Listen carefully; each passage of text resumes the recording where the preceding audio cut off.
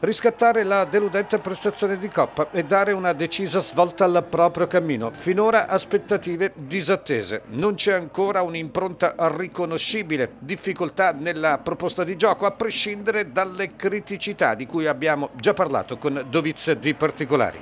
Ad esempio per caratteristiche Memushai fa fatica in un centro K2, di conseguenza lacune evidenti nella fase di non possesso. L'albanese è ritenuto imprescindibile dal tecnico e allora dalla sfida di Siena, mediana a 3, di certo più logica, ma a gennaio serviranno due centrocampisti. Intanto la Reggiana ha passeggiato a Pesaro, incrementando ulteriormente il vantaggio più 11 sui biancazzurri, in ritardo di 7 lunghezze dalla vice capolista Modena, che ha espugnato Siena. Per gli emiliani 7 ottimo successo nelle ultime otto gare. In sintesi, Cesena, primo snodo della stagione, un vero e proprio bivio per capire, soprattutto conoscere quale sarà la direzione del Delfino. Auteri. La partita di Cesena è un nodo, come un nodo importante, dobbiamo fare punti, punti che sono importanti, non è una partita decisiva perché però è un, è un, è un crocevia importante, ci dirà la strada che dobbiamo prendere, sappiamo che dobbiamo fare il risultato, il risultato passa dalla prestazione che faremo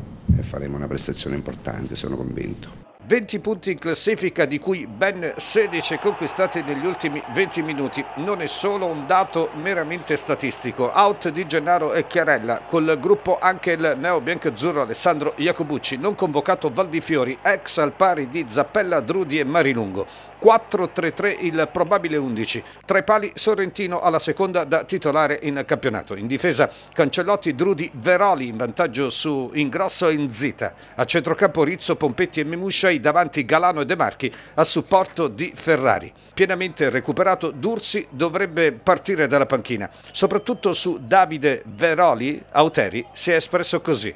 È un ragazzo che è pronto a prendersi le proprie responsabilità perché viene da un percorso di lavoro importante perché è un giocatore a differenza, a discapito dell'età che è un giocatore anche molto equilibrato e ponderato dal punto di vista della struttura mentale quindi è un giocatore pronto Cesena privo di Maddaloni, Nannelli, Brambilla, De Gemelli, Steven e Christian Spendi, convocati con la nazionale under 19 albanese. Tornano dei rispettivi infortuni l'ex Teramo Zecca, Candela e Adamoli. Terza in classifica, 5 punti in più del Delfino finora la squadra di William Viali, terza stagione alla guida dei bianconeri, ha manifestato solidità e compattezza. Appena 5 reti al passivo, migliore difesa del girone.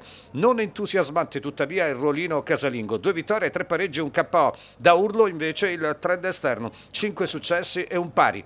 Sono inclini a giocare di rimessa i romagnoli, punte rapide e ficcanti, 4-3-2-1, come da disposizione societaria tre under schierati dal primo minuto. La possibile formazione Nardi Trepali, Ciofi, adattato da settimane nel ruolo di terzino, Mulè, Gonnelli e Favale in difesa, centrocampo Ardizzone, Missiroli e Berti, classe 2004, già 8 presenze in campionato, in attacco Caturano e Pierini alle spalle di Bortolussi. Sarà probabilmente Caturano in fase di non possesso ad abbassarsi per schermare Pompetti, fonte del gioco biancazzurro. Viali.